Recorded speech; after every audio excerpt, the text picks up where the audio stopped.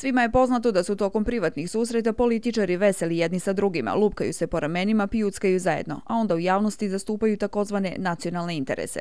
Ipak da nije riječ o nacionalnim nego o partikularnim ličnim interesima, upozorila je danas ugleda njemačka političarka i bivša evropska zastupnica Doris Pak. Nadam se da će ljudi na oktobarskim izborima u Bosni i Hercegovini odabrati one političare koji im vjerodostojno mogu reći da će ih uvesti u Evropsku uniju, jer Zapadni Balkan pripada Evropskoj zajednici Ukoliko se ispune uslovi za članstvo i ukoliko to zemlje Zapadnog Balkana žele, one će postati članice.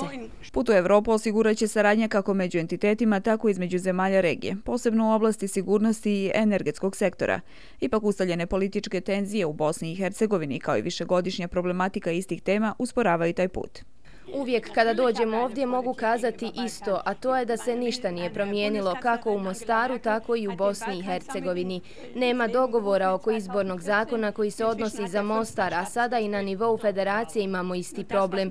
Ta je zakon u suštini demokratski zakon, što je rekla i Venecijanska komisija, ali evo dogodilo se nešto čega su se neki pribojavali, a neki se nadali.